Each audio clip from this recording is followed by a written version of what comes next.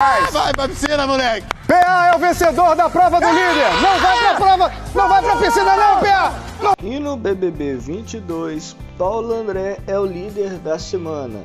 Ele ganhou a disputa com os outros participantes e tirou a plaquinha de 100 mil reais, sendo assim sendo coroado o líder da semana no BBB 22.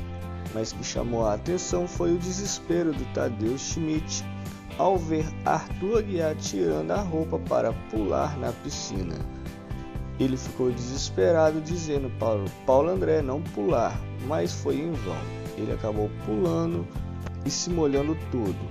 Rapidamente, Tadeu pediu para os participantes pegarem uma toalha porque teria mais coisas a se fazer no programa naquele momento. Deixe aqui abaixo nos comentários se vocês gostaram de ver Paulo André sendo líder da semana.